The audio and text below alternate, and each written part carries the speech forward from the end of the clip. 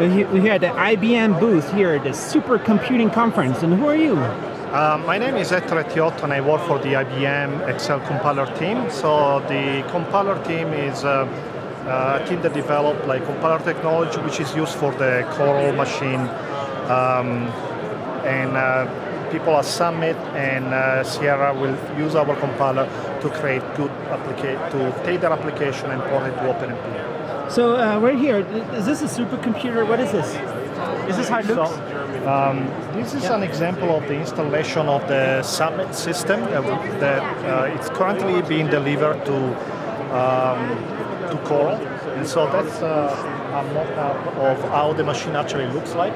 Each cabinet contains several um, uh, racks with Power 9 and NVIDIA GPUs. Right. I'm going to head back to my uh, So it's NVIDIA GPU kind of solution?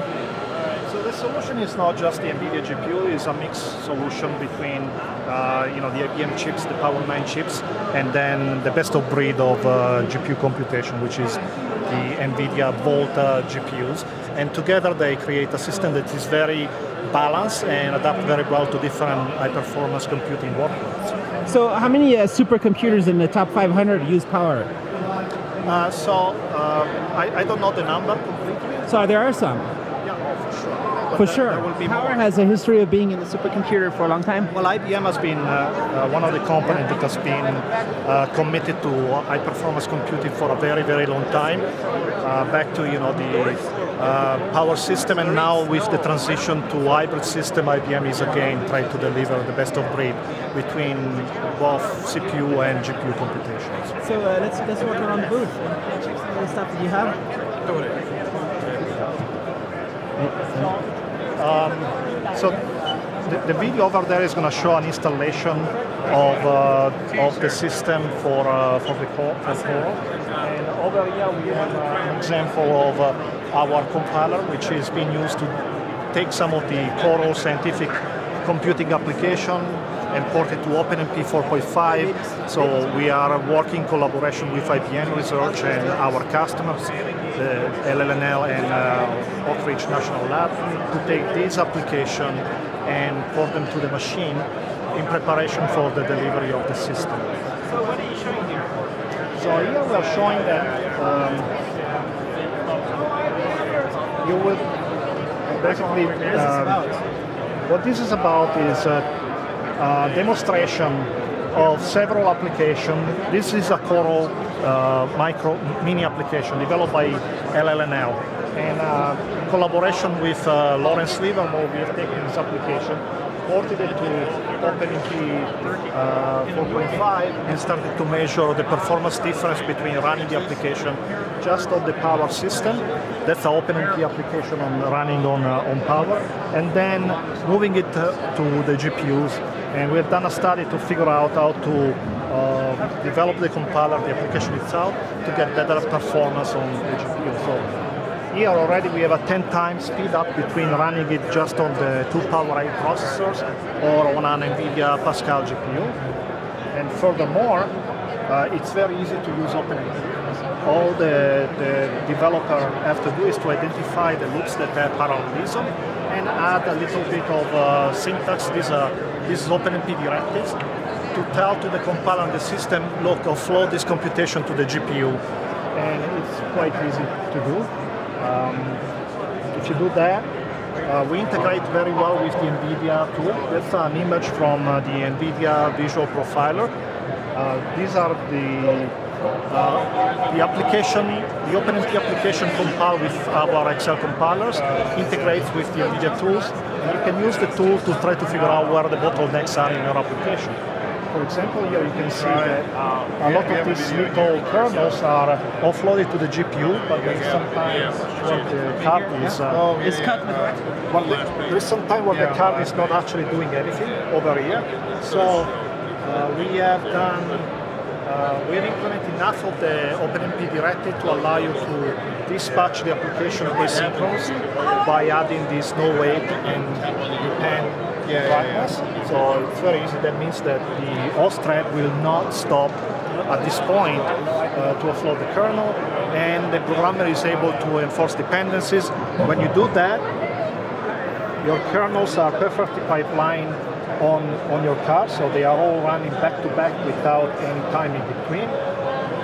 And uh, the performance difference is from uh, the red line to the yellow greenish line is about 24% better than if you didn't do anything to offload the application asynchronous. So is that what you work on? You work on yeah, this kind I of stuff? Am a, I am a uh, developer.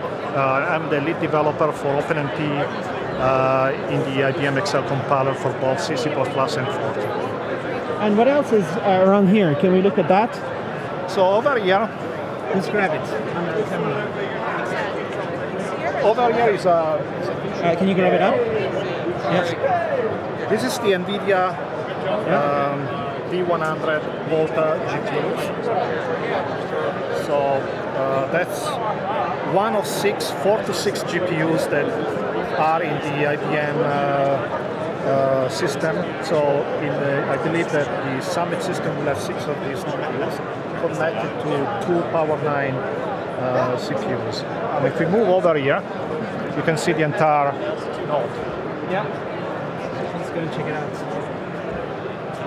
So that's the IBM Power System AC922. And, and you can see that these are the Yeah. two Power 9 processors connected to six GPUs each. So you have like one, two, three, four, five, six GPUs. The system is water cooled. Um, and um, you know, so that and, and there is a NVLink 2 bus between the OS processor and, and the GPUs, and that's unique to IBM.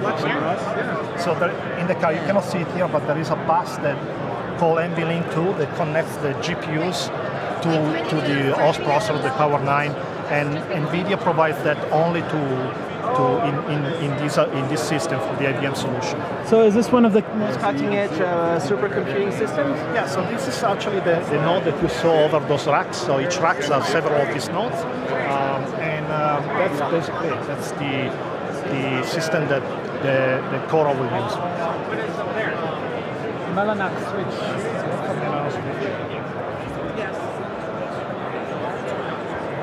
So that's uh, that's the interconnect uh, provided by Mellanox. Really an expert on this one, but it just to coordinate the communication across the network for the machine.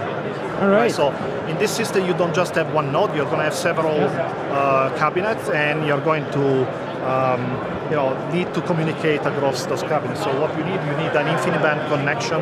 That's the switch that provide the connection.